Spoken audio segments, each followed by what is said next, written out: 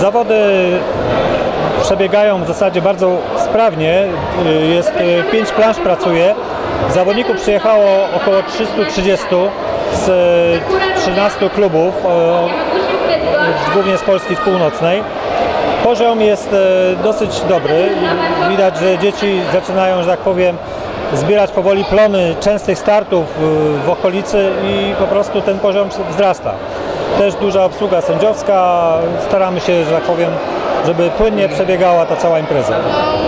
No mamy na razie trzecie miejsce w Drużynówce? i jeszcze pierwsze w innej drużynówce i trzecie w indywidualnym kata. Najlepszy wynik to z Mistrzostw Świata. Pierwsze miejsce w kumite drużynowym to było 10-11. W Warszawie e, pierwsze miejsce w WKF-ie. I jeszcze Puchar Polski, pierwsze miejsce w kumite. Pięknie. Powiedzcie mi, czy długie treningi do przygotowywania się do takiego dzisiaj? No treningi są, ogólnie to można trenować cały tydzień, No. ale my trenujemy trzy razy w tygodniu. Piątki od chyba od 19 do 21. No, dwie godziny. A jeszcze tutaj mamy też treningi to półtorej godziny. Z jakiej jesteście miejscowości? Y, Ja z Puska. Mrzezinie koło Pucka. Taką dyscyplinę sportu polecamy wszystkim naszym koleżankom i kolegom. Jest bardzo fajna. Bardzo interesująca No, jest dużo zawodów. i bardzo się cieszę, że w ogóle w Mrzezinie e, jest klub karate i że możemy mieć, uczestniczyć w tych zajęciach. Dzień dobry, Patryk Wendt, e, trener klubu sportowego Goken Chwaszczyno. E, No tutaj e, nasz klub startuje w tych zawodach, to jest druga edycja i drugi raz tutaj jesteśmy, także bardzo dobra organizacja, jeżeli chodzi o te zawody, wszystko idzie planowo. Poziom zawodów jest dosyć wysoki, no i zawodnicy mają co robić. Żeby wywalczyć medal, to naprawdę muszą się nastarać u nas w gminie Żukowo, no to działamy bardzo prężnie. Jesteśmy jednym z y, większych klubów e, sportowych w ogóle w gminie Żukowo. E, ja chciałbym tutaj powiedzieć parę słów w ogóle o pomorskim karate, bo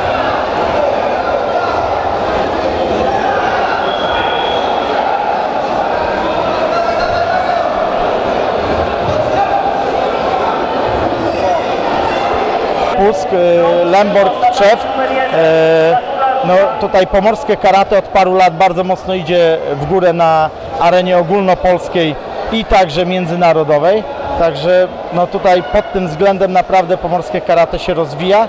E, No i mamy nadzieję, że tak będzie, będzie dalej. Że mamy duże wsparcie. E, samorząd Żukowski e, widzi jak te nasze zajęcia, jak e, nasi zawodnicy się prezentują e, właśnie na, na arenie ogólnopolskiej i ogólnokrajowej i mamy duże wsparcie, jeżeli o to chodzi. E, No, myślę, że tutaj e, można powiedzieć, że jest to wzorcowa współpraca.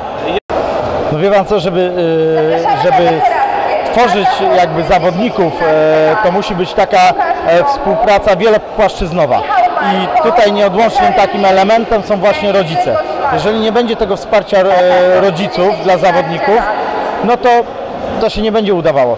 Na szczęście, na szczęście możemy powiedzieć, że jeżeli chodzi o tą naszą dyscyplinę, rodzice są bardzo zaangażowani, jeżdżą ze swoimi pociechami, ich dopingują, starają się im pomagać i to przynosi efekty.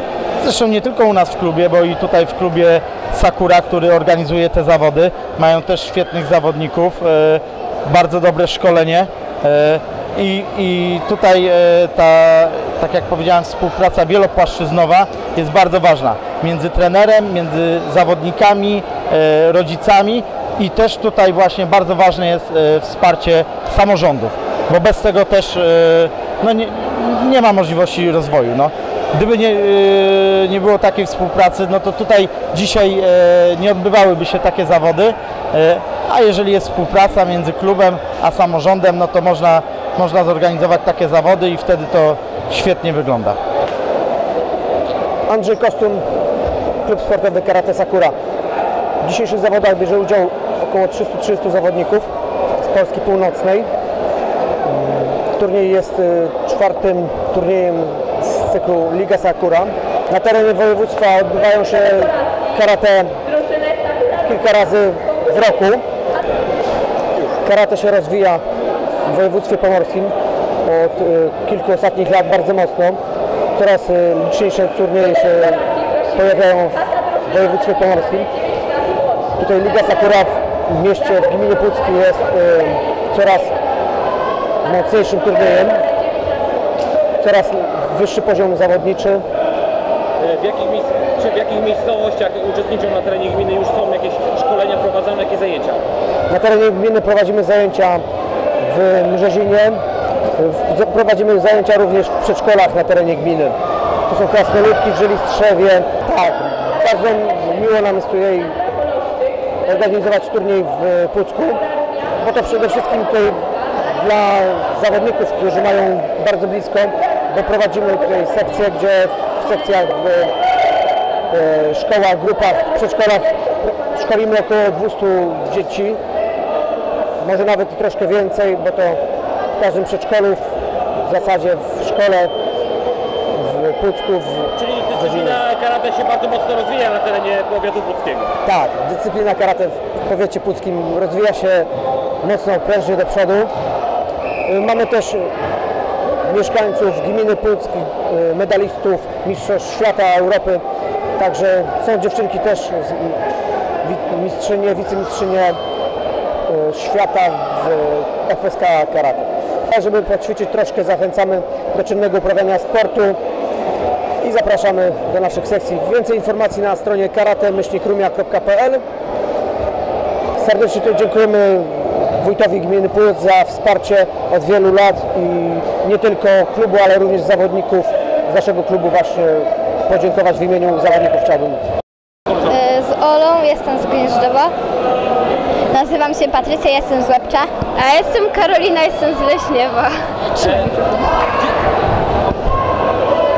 Dziewczyny, powiedzcie mi, e, czy trudno się uprawia taką, tak, taką dyscyplinę sportu? Która? Nie. Wydaje mi się, że najważniejsze jest podejście do tego sportu i strasznie ważna jest wytrzymałość, cierpliwość i takie, takie chyba najważniejsze, najważniejsze cechy dla, dla prawdziwego sportowca. E, tak, jesteśmy bardzo zadowolone, że e, właśnie w takich e, naszych gminach, miejscowościach właśnie trenerzy rozwijają ten sport i starają się wprowadzić coś nowego do, do, do, tych, do tych właśnie miejscowości. Dzisiaj jakie wyniki macie? O, ja jeszcze nie zaczęłam. E, Ja mam drugie miejsce w kategorii kumit, y, y, kata drużynowe 10-11 i w kata drużynowe 12-13 też drugie miejsce. E, Ja zajęłam dwa pierwsze miejsca, jedno w kategorii e, kata juniorek i drugie w kategorii kata kadetek. O. Powiedzcie mi, e, bo zawsze się za- zastanawiam, to, to e, e, jak na przykład mieszkacie w swoich miejscowościach, to chyba mieszkańcy się czują bezpiecznie przy Was, czy nie? To jest takie podstawowe pytanie, które każdy zadaje.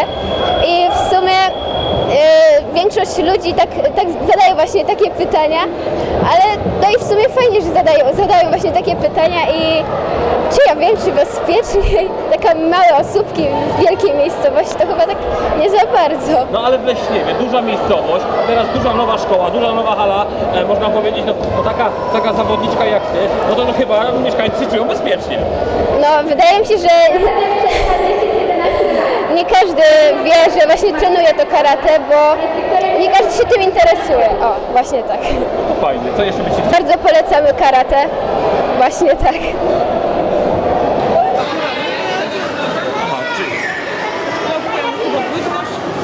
Mieszane.